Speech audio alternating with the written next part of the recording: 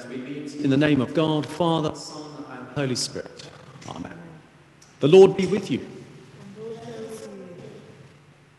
Uh, well, here we are, lockdown still, third week. Uh, also, third week of Epiphany season, and it's also the end of the week of prayer for Christian unity. And we had a special service hosted this week at St. John the Baptist with uh, various churches around the area of Kensington and Notting Hill together to pray and to worship through this modern technology. It would be lovely to see you all here physically in the flesh. As soon as we are able to do that safely. But in the meantime, here we are, uh, worshipping through Zoom.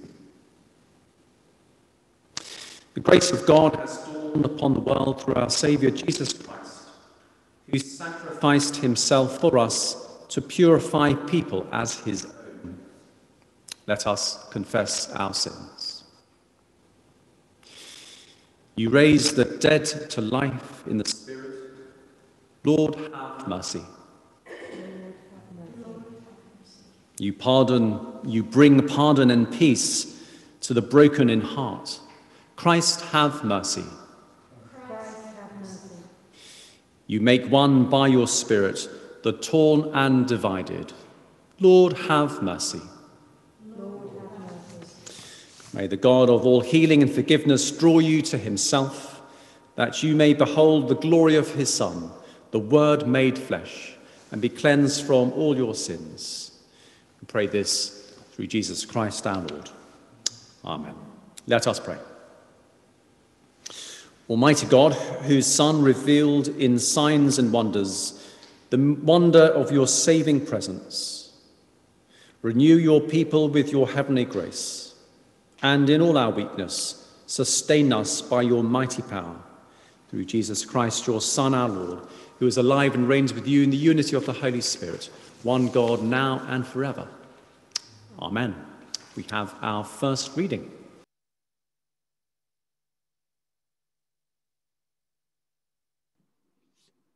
A reading from the book of Genesis, chapter 14.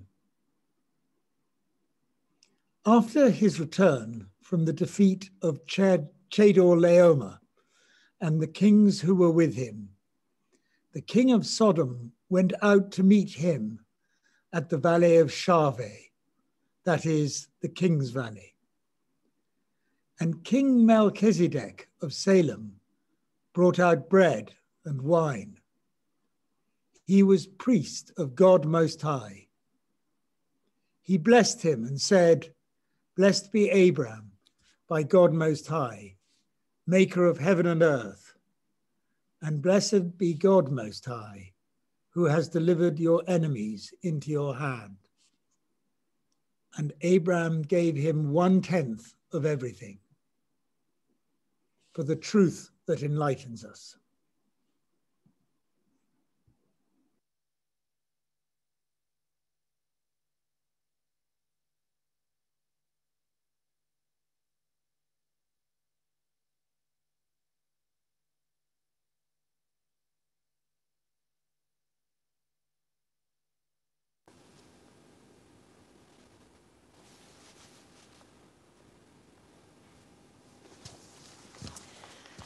Alleluia, Alleluia, Alleluia.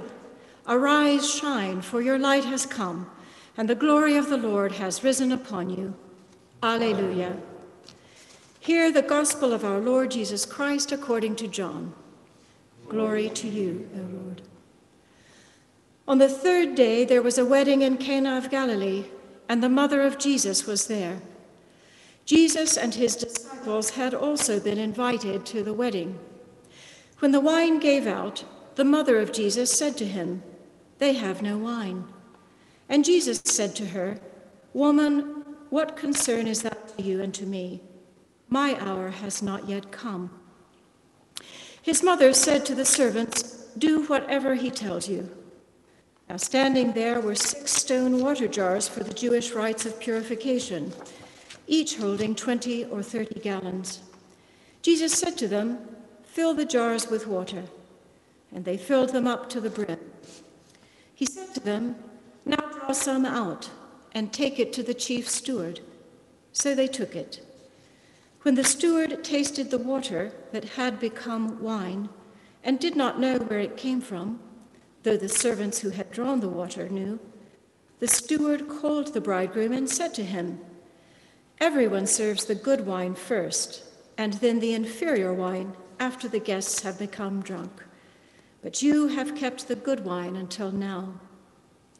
Jesus did this, the first of his signs, in Cana of Galilee, and revealed his glory, and his disciples believed in him. This is the gospel of the Lord. Praise you, o Christ. It's often been said that an abstract idea doesn't become real until you experience it yourself. This was certainly true for me with the week of prayer for Christian unity. My first parish was in Washington, D.C., and the churches of all denominations in my neighborhood, Georgetown, dutifully got together for Good Friday services each year. This same week, January 18th through 25th. Did a good job. There were also good observances also in San Francisco, my next parish, and then New York, my next. But it wasn't until I got to Rome that the week of prayer for Christian unity really changed in importance for me. It really came to matter. All of a sudden, I was in the minority. Among a sea of Roman Catholics, with a few small struggling Protestant congregations, I was not only a junior cleric, but a female one. For a while, Mary, my colleague, a former doctor from England, came through training as deacon and then priest with me at All Saints. But then, along with me, there were only two other women clergy ministering in all of Rome an Italian Baptist and a Filipino Methodist, both in Italian speaking congregations. I tried one time to look up the proportion of Protestant Anglicans to Roman Catholics in Rome and then gave up. Reliable statistics are hard to come by in Italy, and in the end, it didn't matter. We were a distinct minority in every way, and that was clear. In addition to my parish work, I was also a loyal supporter of the Anglican Center in Rome, where Mary and I were at first servers, then later allowed to preach and celebrate the Eucharist on Tuesdays. The Anglican Center was founded in 1966 when Archbishop Michael Ramsey came to Rome, and Pope Paul VI placed his own ring on the Archbishop's finger as a sign of their commitment to growing together in faith. I'd like to read you the beginning lines of the common declaration made on that occasion. In this city of Rome, from which St. Augustine was sent by St. Gregory to England, and there founded the Cathedral See of Canterbury, towards which the eyes of all Anglicans now turn as the center of their Christian communion, His Holiness Pope Paul VI and His Grace Michael Ramsey, Archbishop of Canterbury, representing the Anglican Communion, have met to exchange fraternal greetings. At the conclusion of their meeting, they gave thanks to Almighty God, who, by the action of the Holy Spirit, has in these latter years created a new atmosphere of Christian fellowship between the Roman Catholic Church and the churches of the Anglican Communion. This encounter of 23rd March 1966 marks a new stage in the development of fraternal relations based upon Christian charity and of sincere efforts to remove the causes of conflict and to reestablish unity. In willing obedience to the command of Christ, who bade his disciples love one another, they declare that with his help, they wish to leave in the hands of the God of mercy all that in the past has been opposed to this precept of charity, and that they make their own the mind of the apostle, which he expressed in these words Forgetting those things which are behind, and reaching forth unto those things which are before, I press towards the mark for the prize of the high calling of God in Christ Jesus. From Philippians 3. They affirm their desire that all those Christians who belong to these two communions may be animated by these same sentiments of respect, esteem, and fraternal love. And in order to help these develop to the full, they intend to inaugurate between the Roman Catholic Church and the Anglican Communion a serious dialogue, which, founded on the Gospels and on the ancient common traditions, lead to that unity in truth for which Christ prayed.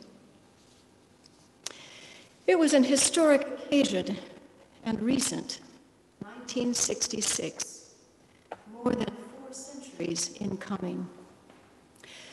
I spent eight and a half years in Rome. It was there that I changed denominations, having been ordained a Presbyterian in 1984. It was there that I witnessed a variety of people working together to strengthen the witness of the Christian church by strengthening the bonds of unity that in principle bound us one with another. Some worked harder than others. One of the senior clerics whom I came to know in Rome during the time that I lived there, 2009 to 2018, was Monsignor Mark Langham, who died 10 days ago from cancer. He was only 60.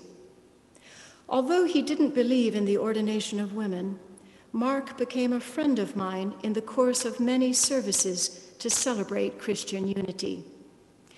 Mark graduated from Cardinal Vaughan Memorial School before taking a degree in classics and history at Magdalene College, Cambridge. He was ordained as a Roman Catholic priest in 1990, serving as a parish priest in Bayswater.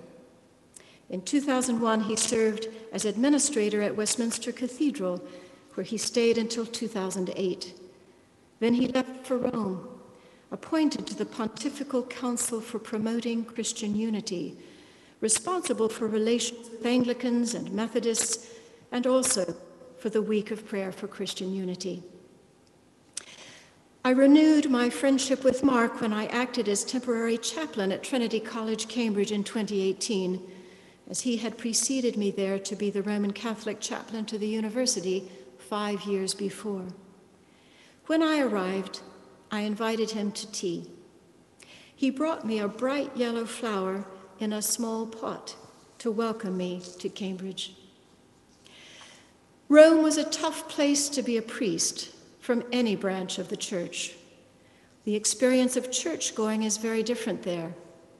In my experience, many Roman Catholics there regard the profusion of exquisite and historic churches in their city as fixtures, places to drop into for a few minutes prayer after lunch on a weekday if you feel like it, or have a current crisis in your life but they are not thought of as a place for regular Sunday morning worship.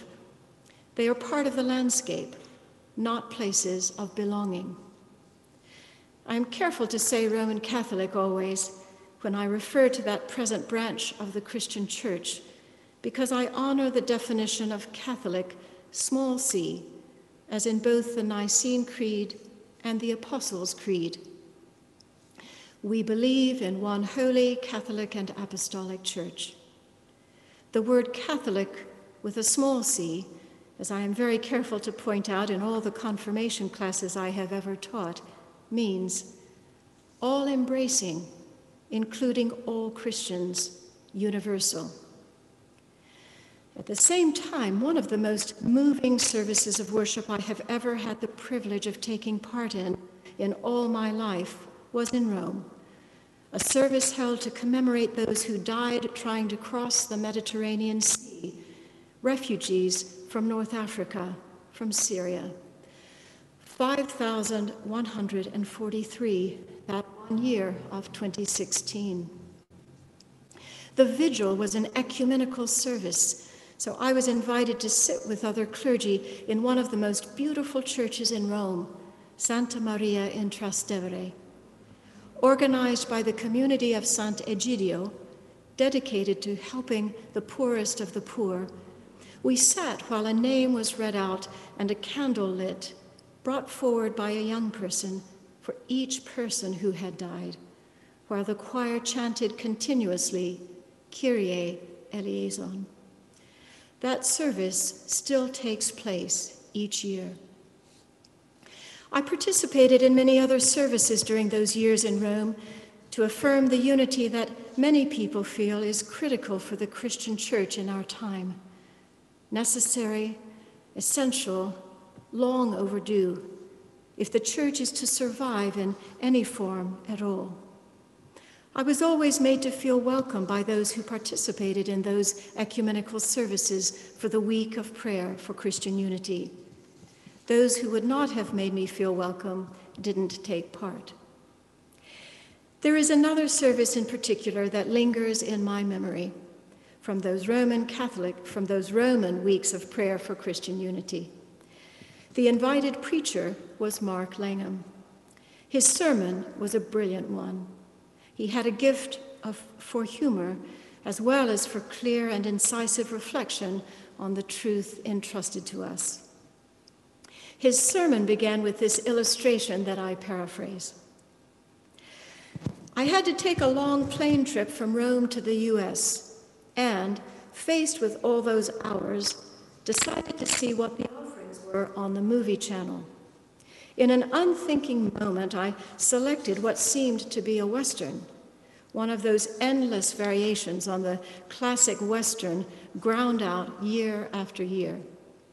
Well, this one featured the usual lineup of cowboys versus Indians riding horses, brandishing shotguns and spears, shouting and raising dust. But this particularly bad variation had an intriguing plot twist. Instead of cowboys wiping out the Indians, or Indians wiping out the cowboys, this time a new threat appeared on the horizon or, to be exact, from the sky. An alien space invader aircraft zoomed down and landed right in the middle of the skirmish. And, faced with this common enemy, the cowboys and the Indians united to defeat the foe they both faced. We were all laughing out loud in our pews. What could have illustrated better the task and the hope of the week of prayer for Christian unity. The Christian church has been riven by factions of all kinds in these long centuries past. We have cared more for our distinguishing marks of difference than for the treasure of our inheritance of truth. The kingdom of God has had a hard time breaking in by our means because we have veered off the path of truth, which is to affirm the saving goodness of God as revealed to us in the person of Jesus Christ. As in that historic affirmation of Pope Paul VI and Archbishop Michael Ramsey in 1966, we have the opportunity today, this week, and every day of every week to affirm what it is we believe, what we really believe, that we are, not only in theory, but in practice, one holy Catholic and Apostolic Church. There is no time to lose. The common enemies for the church of our time are the loss of knowledge of the Christian tradition, ignorance and indifference, the manifold distractions of the popular culture, the anxiety and fear of this pandemic and its consequences the growing inequality of wealth and of opportunity, the threat of environmental catastrophe already taking place. There is no time to lose. Let us affirm what it is that we hold in common with all the other branches of the Christian Church Protestant, Roman Catholic, Orthodox, many sects and subsects. Let us affirm what it is we believe, so that the Holy Spirit of God can work through us to restore to wholeness and health all of creation. We can hold a service of worship together as we did on Thursday evening, but let us also, each day, act in such a way that we reach our hands out to others both within and outside our own branch of the church. So may the unity of the church be visible and our own fellowship broadened to all the world. Amen.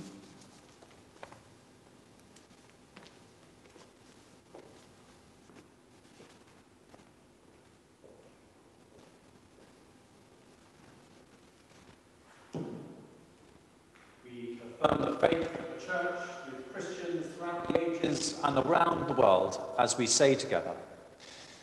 We believe in God the Father, from whom every family in heaven and on earth is named. We believe in God the Son, who lives in our hearts through faith and fills us with his love. We believe in God the Holy Spirit, who strengthens us with power from on high. We believe in one God, Father, Son, and Holy Spirit. Let us pray. As this week of prayer for Christian unity concludes, we say a prayer from the Armenian Church. From the east to the west, from the north and the south, all nations and peoples bless the Creator of creatures with a new blessing. For he made the light of the sunrise today over the world. O congregations of the righteous, who glorify the Holy Trinity in the morning of light, praise Christ, the morning of peace, together with the Father and the Spirit, for he has made the light of his knowledge shine over us. Lord, in your mercy, hear our prayer. Lord Jesus Christ, in these dark and difficult days, we turn our hearts to you. In ages past, you have delivered our nation from disaster.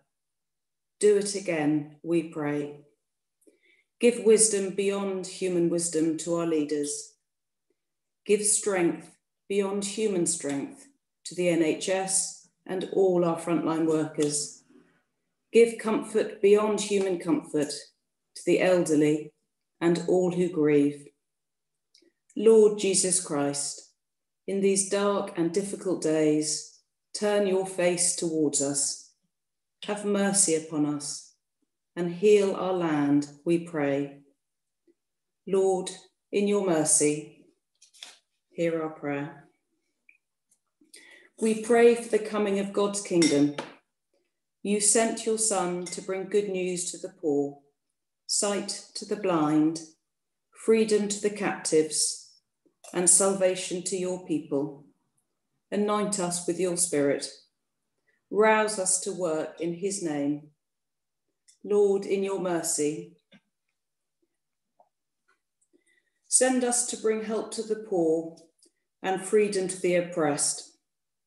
Send us to tell the world the good news of your healing love for those who are sick, we pray, including Maria Cariotti, Elpida Manda, Maggie Neal, Peter Rogers, Caroline Bennett, Nathan Lee, Sally Basada, Roderick McLennan, Julia Payne, Rose Anderson. Lord, in your mercy, Send us to those who mourn to bring joy and gladness instead of grief.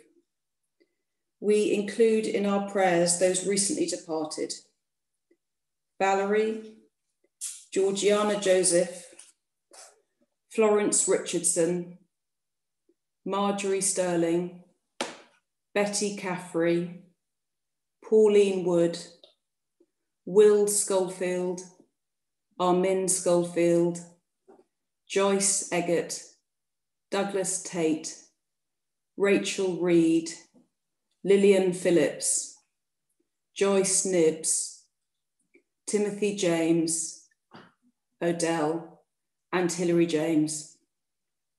Merciful Father, accept these prayers for the sake of your Son, our Saviour, Jesus Christ.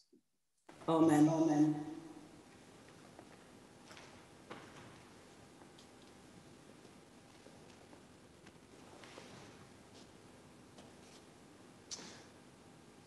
different drawing upon those threads from the sermon. My dear friends, love one another, Jesus said. This is how others will know that you are my, my disciples, if you love one another. The peace of the Lord be always with you. And also with you. Let us share with one another a sign of peace.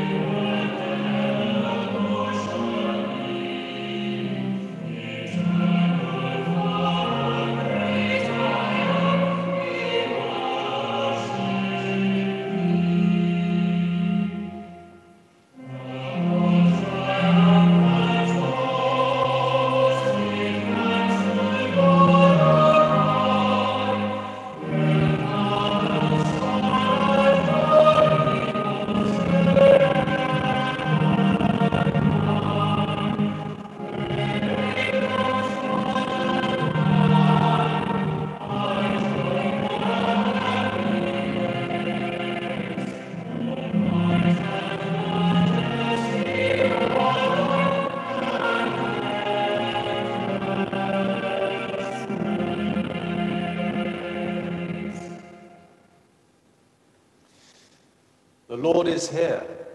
His Spirit is with us. Lift up your hearts. We lift them to the Lord. Let us give thanks to the Lord our God. It is right to give thanks and praise.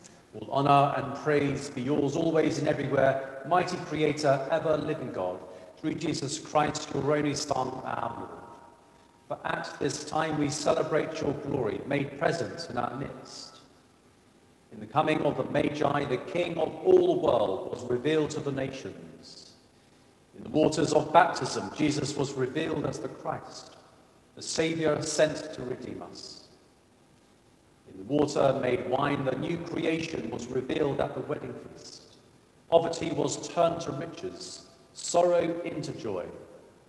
Therefore, with all the angels of heaven, we lift our voices to proclaim the glory of your name and say our joyful hymn of praise. Holy, holy, holy God of power and might. Heaven and earth are full of your glory. Hosanna in the highest. Blessed is he who comes in the name of the Lord. Hosanna in the highest. Lord, you are holy indeed, the source of all holiness. Grant that by the power of your Holy Spirit, according to your holy will, these gifts of bread and wine may be to us the body and blood of our Lord Jesus Christ, who in the same night that he was betrayed, took bread, and gave you thanks. He broke it and gave it to his disciples, saying, Take, eat. This is my body, which is given for you. Do this in remembrance of me.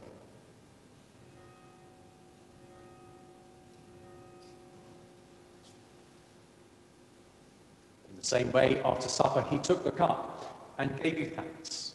He gave it to them and said, Drink this, all of you. This is my which is given for you, the remission of sins. Do this as oft as ye shall drink it, in remembrance of me.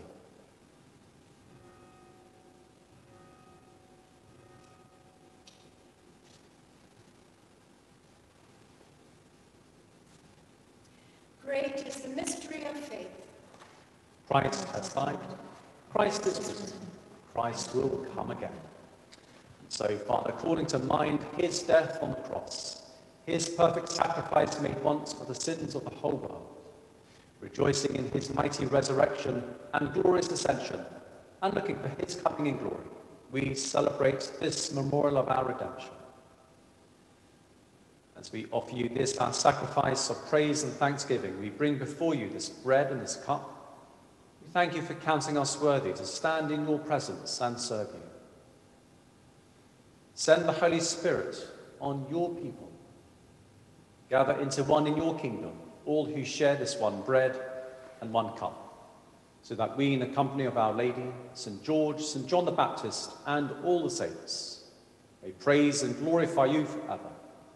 Through Jesus Christ our Lord, by whom and with whom and in whom, in the unity of the Holy Spirit, all honour and glory be yours, Almighty Father, forever and ever.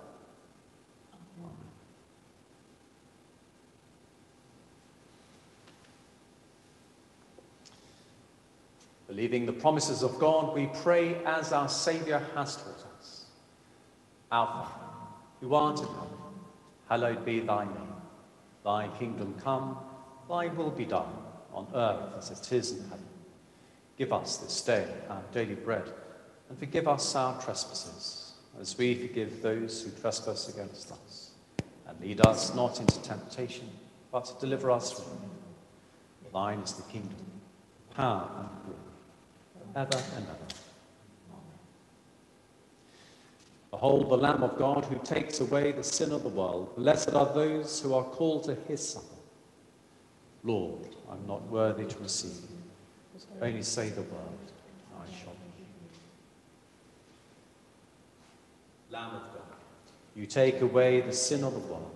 Have mercy on us. Lamb of God, you take away the sin of the world. Have mercy on us. Lamb of God, you take away the sin of the world. Grant us peace.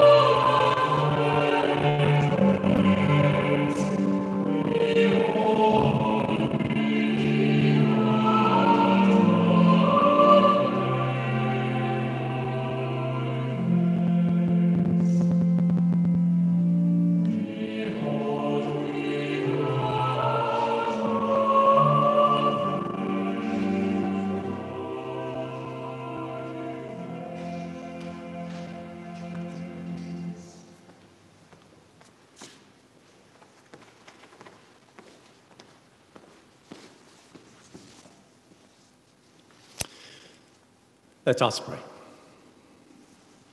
Almighty Father, whose Son, our Saviour Jesus Christ, is the light of the world, may your people, illumined by your word and sacraments, shine with the radiance of his glory, that he may be known, worshipped, and obeyed to the ends of the earth.